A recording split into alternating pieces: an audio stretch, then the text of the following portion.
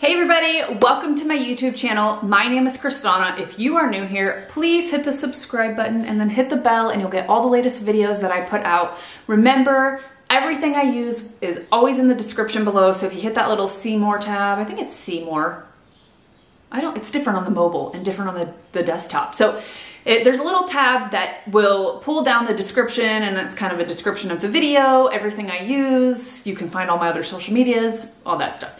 So and if you are not new here, welcome back friends and family. I just want to take a second to say thank you to everyone who's watching this video, to those of you who keep coming back week after week and video after video. I just want to say I appreciate you. So I just want to take time to say thank you, thank you, thank you, thank you. Okay, so today in our video, I am going to be doing this buffet. And so this buffet is something that I have actually Oops. This buffet is actually something that I have had for probably about over a year. And I just didn't know what I wanted to do with it. And then earlier this year, if you guys don't know, I bought a house. We bought a house that we had saved years for, and it's in Maine. So my husband is from Maine, okay? And so I have family in Maine and I have family in Massachusetts and New England. And that is why we're going back. So my husband is active duty military. He is about to hit his 20 year mark. So around this time next year, we will probably be back in the US. Right now we live in Germany. So I'm trying to collect as many awesome European pieces as I can. So I'll do customs and then I'll do pieces for myself as well. And because we already own the house, we're renting it out right now, but we already own the house. And so I can visualize where I want this stuff. And of course, my house is gonna be super colorful. So the house was built in 1760, but has been renovated. And so it's, it's not modern. It's not a new build, but it's not an old build. It's kind of just in the middle. So it's what it is to me. I feel like it's like a blank palette. So that way I have the, it's like a blank palette for me to bring color and bring my color into the house. So I am going to be doing this piece and I, I don't want to say where I'm going to put it because I feel like I will change my mind.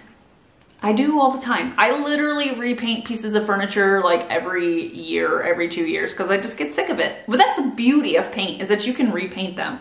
Especially when you know what's on the surface, you know how to repaint it, prep it for repaint. Make it a cute so, little statement piece. It's not a huge buffet, so it's, it's, I don't know, probably four, let's look. Let's measure it.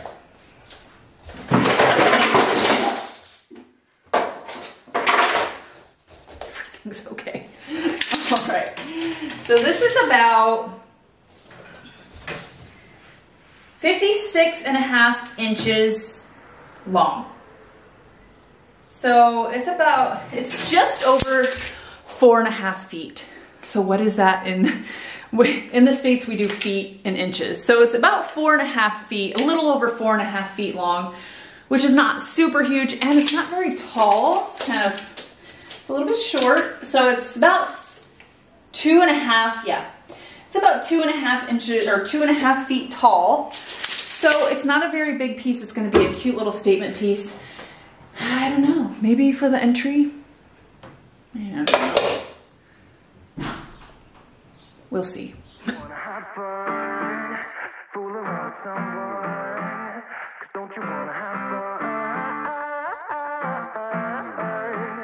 This piece had some veneer that was coming off, so I took a putty knife, a metal putty knife, and I just removed it. This was an easy piece to take the veneer off of. So I took that off and then you'll see later on I'm going to sand that back splash back part down so that I can reveal the natural wood underneath it and then it will get sealed the same way that the top will get sealed later on. Also, next what I did is I removed all of the hardware. I always take all of the hardware off of every single piece Every so often you'll see me paint it, but it's very rare. I also am going to replace these little keyhole locks. I just don't like these covers, so I replaced them later on with something a little bit smaller that I felt fit the piece. I'm going to go in with a two-part wood filler to fix a few chunks missing out of the drawers. So first, this two-part wood filler it, I'm going to stir it, and then there is a hardener that usually comes with the, well, it always comes with the two part wood filler. And you're going to mix those into each other, but you're going to want to work fairly fast because it does harden within about 10 minutes.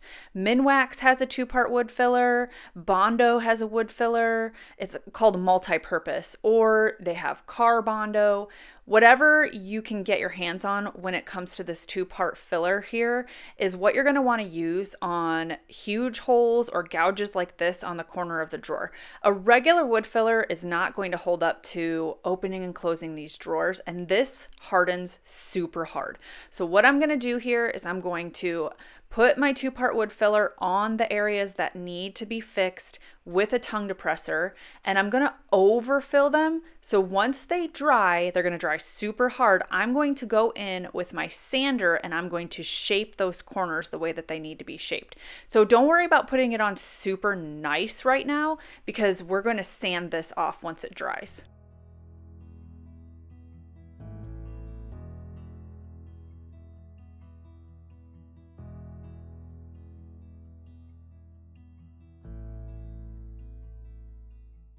I like to let my wood filler sit for about an hour before I go in and sand it, just so I know that it's nice and hard. I'm using my 3x4 electric ray and I'm using a 120 grit sandpaper. So that's what you want to do about a 120 grit to go in and sand and shape this. You don't want to use too high of a grit because it won't sand it, but you don't want too low because you don't want it to eat through it really fast. So 120 is like a sweet spot. And you're going to go in and you're just going to slowly start shaping this. Don't go in crazy with it. Be patient. Go in and be careful. Like this piece right here had some moldings on the drawer front, so I had to work around that. But I'm just shaping this so that that corner is fixed and it looks like a corner once I paint it.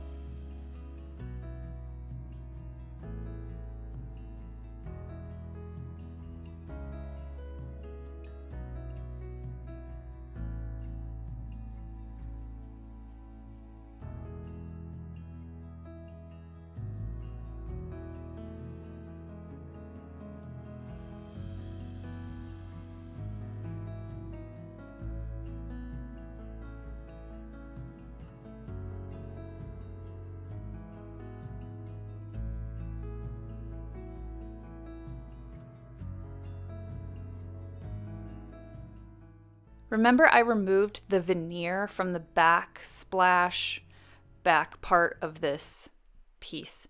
So I'm going to go in with a 120 grit and I'm going to sand it. I know that this is solid wood. A lot of times under veneer, it's a particle board or plywood, but this was solid wood. And so I want this to be part of the piece. I could have taken it off, but I just, I like it.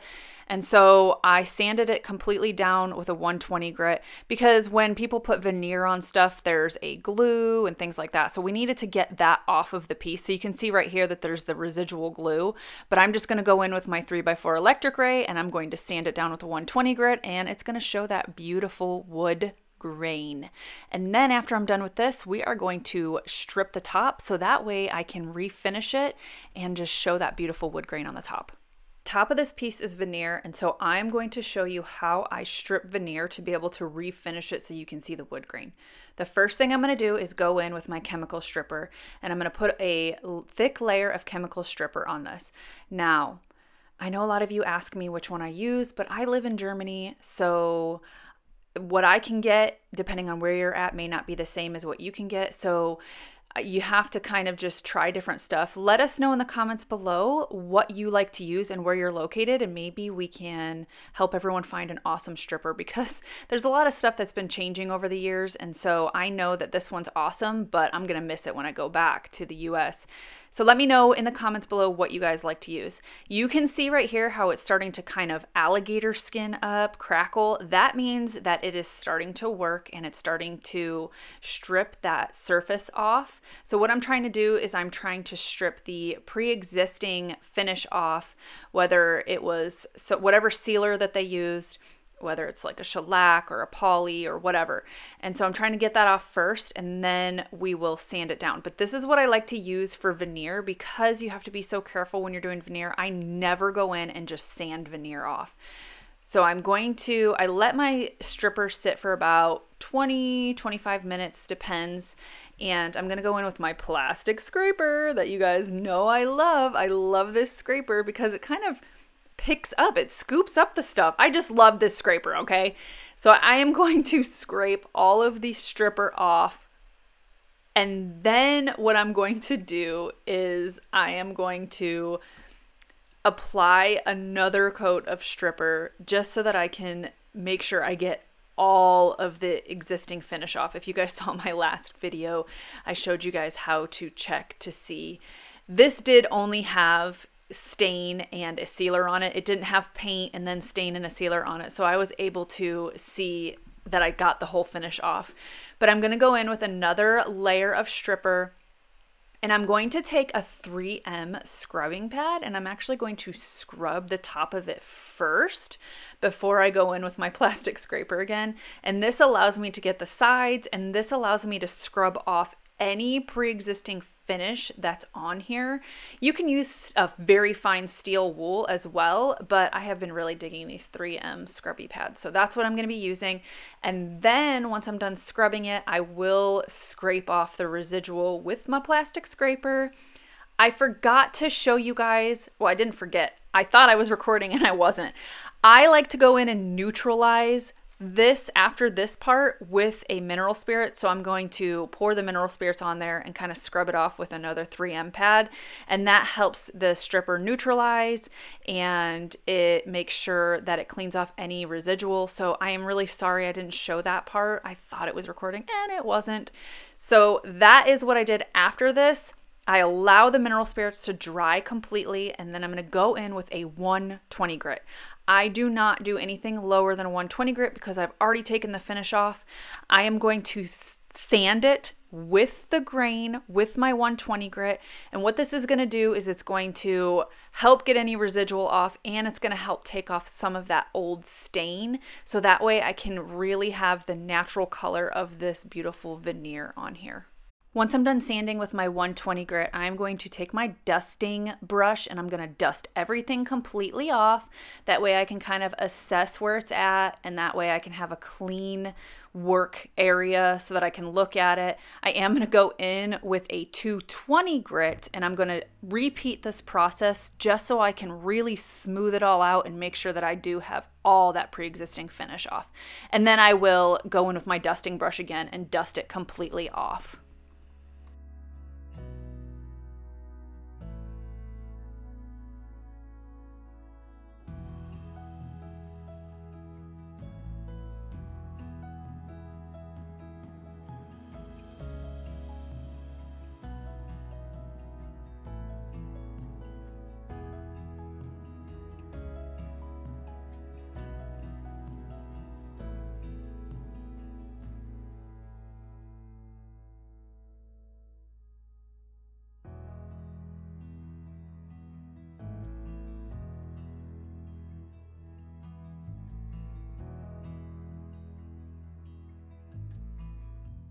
Now it is time to clean this piece.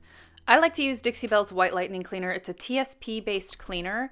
And what I do is I pour it into warm water and I use a microfiber cloth and I go over the entire piece.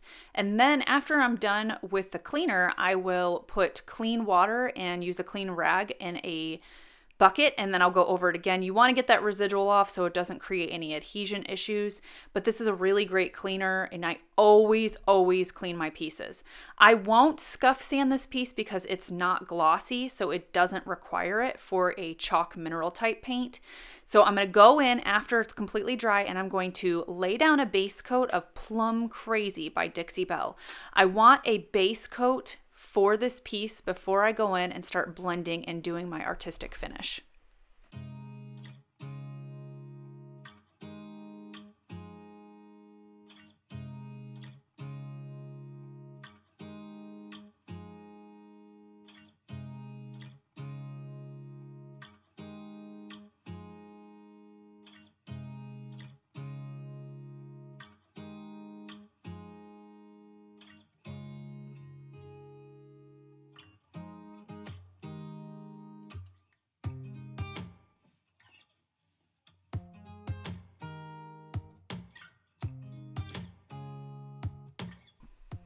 I just wanted to show you a little hack. I put tape on my drawer sides so that way when I'm painting, I can just pull that tape right off and I have nice crisp lines. So I don't want you to pay attention to the piece when we start blending it, okay? I started blending it different colors and I didn't like it. So what we're going to do is we're gonna pretend like that's not on there. You'll see what I'm talking about in a second. I am going to blend a custom color. This is Plum Crazy with a little bit of Dixie Belle's Amethyst in here. And the reason why I did this is because I'm going to be blending with Plum Crazy and Peony, and I want some shading. And so this darker color that I am creating is going to be my shaded effect, the color that creates my shaded effect. And so I need I went in with aubergine earlier and it was just too dark. So this is going to be my shading color, peony is going to be my highlighting color, and then the plum crazy is going to be my in between. And you'll see exactly what I'm talking about when I start teaching you how to blend. But basically what you do is I, I feel like I didn't really measure here, but it's about a one part of Plum Crazy and a half a part of Amethyst. So if you had like one cup of Plum Crazy, you'd have half a cup of Amethyst to get that color.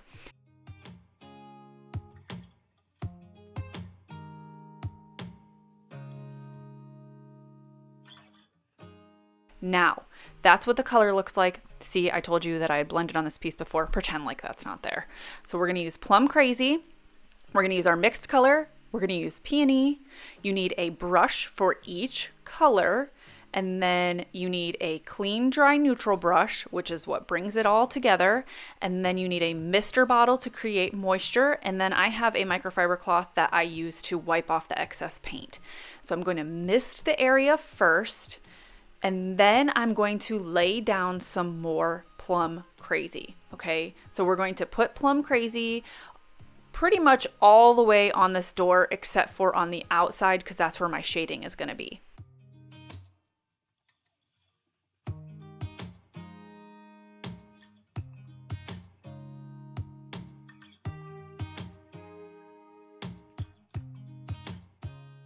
Once I have finished putting my Plum Crazy down, I'm going to mist the area and I'm going to put Peony in the center so that we can create a highlight.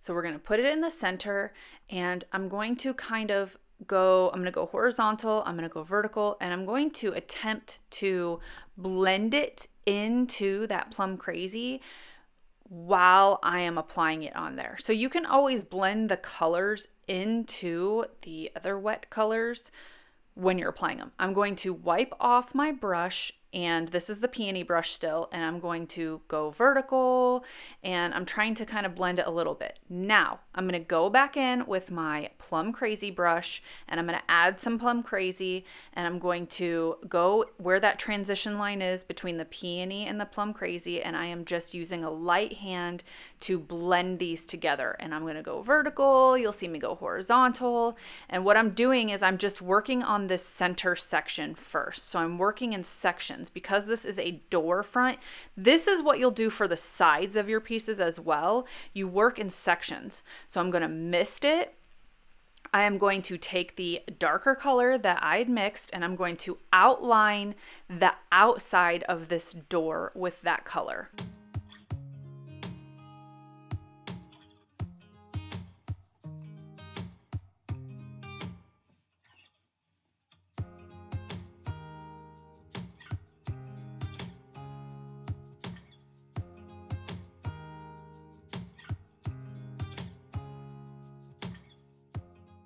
Once I'm done outlining it, I'm going to mist it again and I'm going to still take that same brush and I'm going to start feathering it into that Plum Crazy. So the Plum Crazy is still wet, that peony is still wet. So I'm trying to blend these colors into each other while everything is still wet. And that's why you want to have a mister bottle because it makes it a lot easier for you to blend colors into each other when there's moisture. And so I'm going to mist this again. You don't want to over you don't want to put too much water, but just enough that they blend together. So now I'm taking my Plum Crazy and I'm going to blend that down into that darker purple color. And so I'm going to the transition line of the darker purple and the Plum Crazy, and we're just kind of feathering and blending that into each other.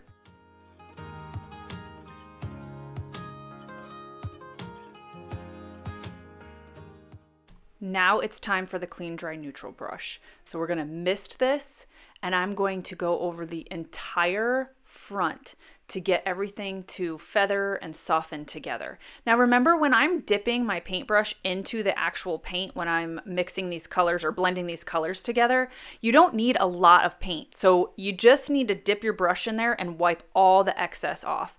So I want you to know that when you're blending, you don't want to be adding more and more paint. So now we're doing the clean, dry, neutral brush. I'm going in circles. I'm going to wipe it off in between to get any of that excess off. And I'm just feathering it. So you're using a light hand when you do this. You can go vertical, horizontal, diagonal. I'm going to mist it when it starts catching. So when your clean, dry, neutral brush starts catching, that means that you need more moisture. So just put a little bit more moisture on there. And I always have my my mister bottle about a foot back from the piece so that I'm not getting sopping wet.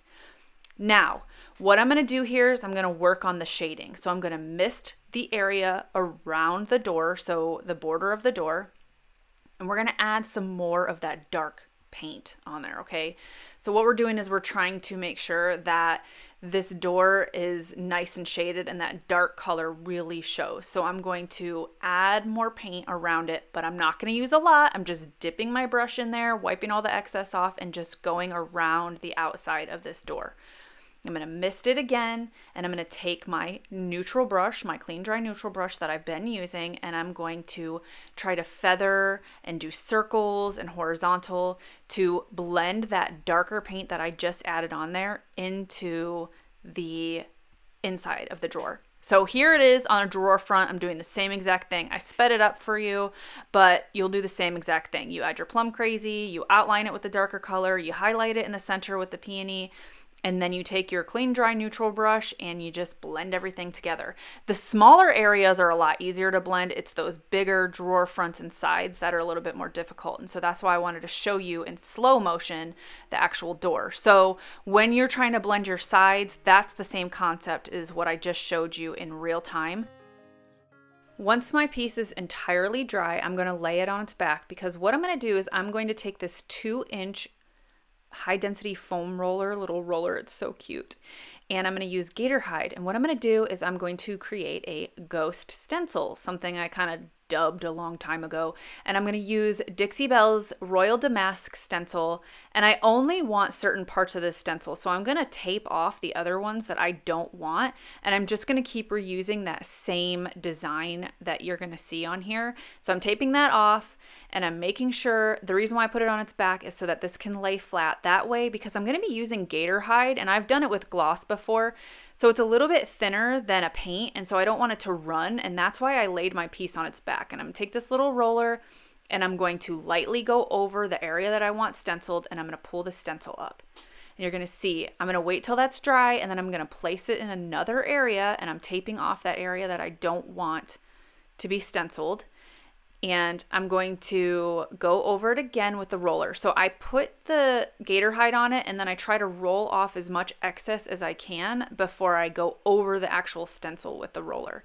So you're gonna see right here, I'm gonna roll over it and then I'm gonna pull it off right away.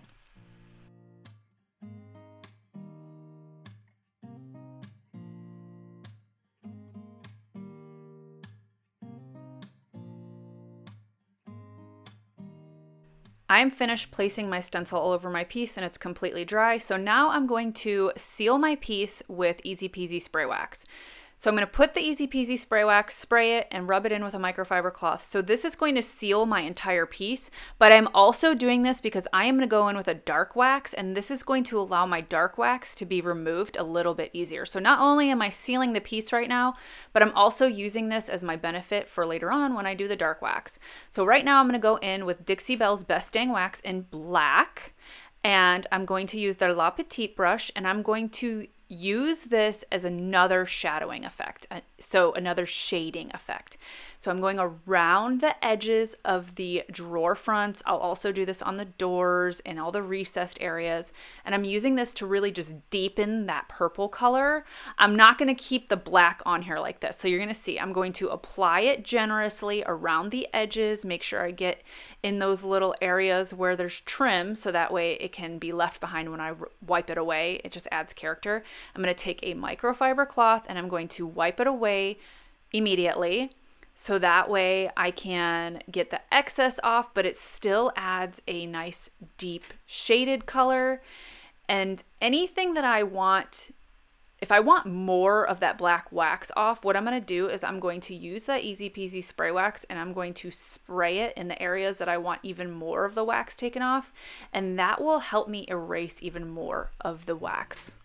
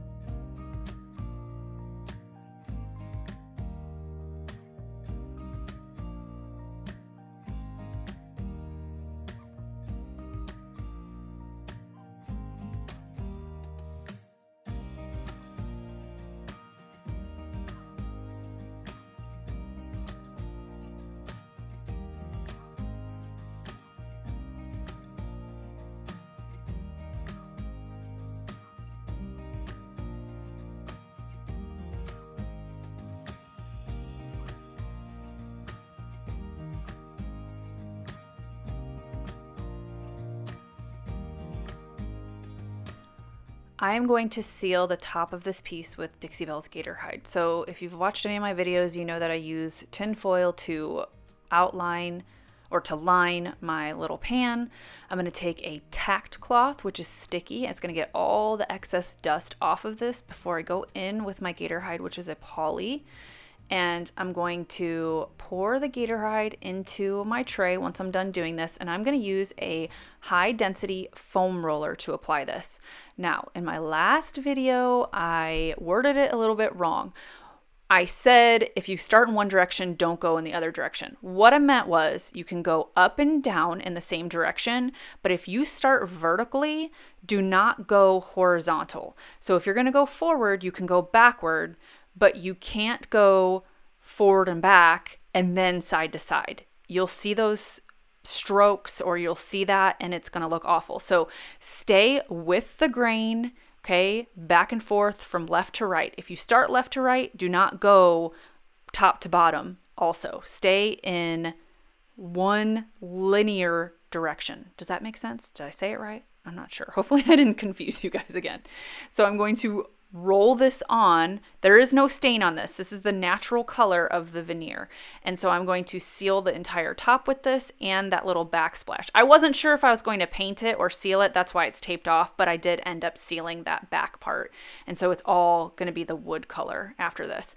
But I'm going to put this on here and I'm going to allow it to dry for a few hours and then I'm going to go in and do a second coat. But if, before I do that, I'm going to do a little scuff sand with a high grit sandpaper. So right here I'm doing super fine Surf Prep brad pad and I'm just gonna scuff it really quick and then I'm gonna wipe it off with a dry microfiber cloth and then I'm gonna go over it with a tacked cloth again just to get all the excess off mm. and then I'm going to apply one more coat of the Gator Hide on it.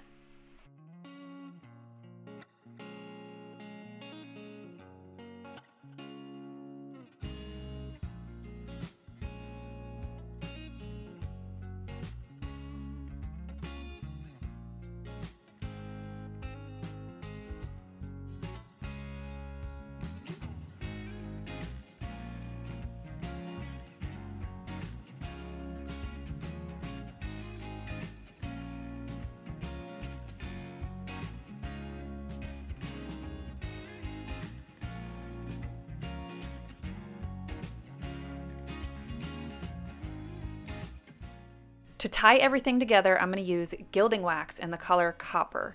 And I'm going to take my little makeup brush and I'm going to go over the hardware. This is an oil-based wax, so it's self-sealing. It does take about 30 days to cure, and so if you do put it on hardware, just be cognizant of that. It does dry after a few days, but it takes that full time to cure, so try not to overuse your hardware if you're using it on there. And then I'm going to go over all of the details and add some copper wax. And this is just going to finalize this entire piece. And I hope you guys really love it because I love it.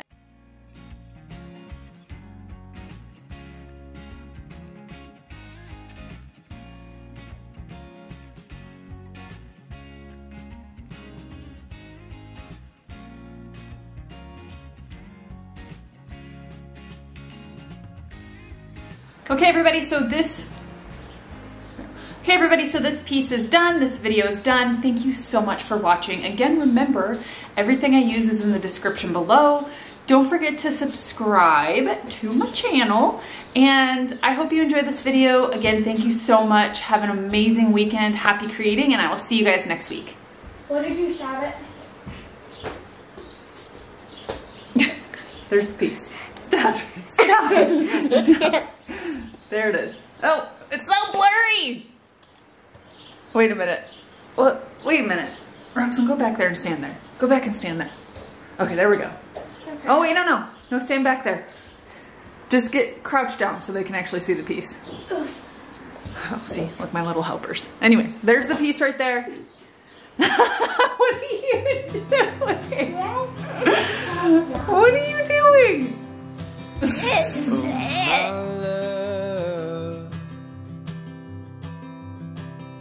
You're such a fragile thing, I know. And with the winter comes the ice, the snow. But I'm here hold.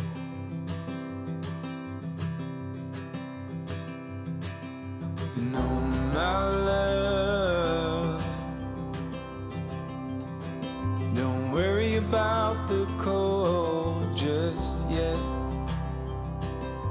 trees haven't started to shed. Just feel the summer sun as it warms